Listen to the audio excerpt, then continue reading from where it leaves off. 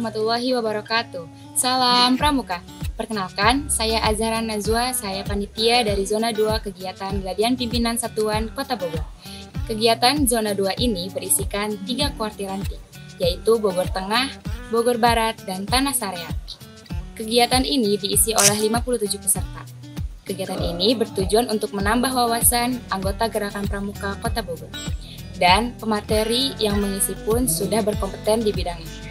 Terima kasih, semoga kakak-kakak dapat uh, menimba ilmu di sini dengan baik dan dapat memanfaatkannya sebaik mungkin. Terima kasih. Wassalamualaikum warahmatullahi wabarakatuh. Salam Pramuka.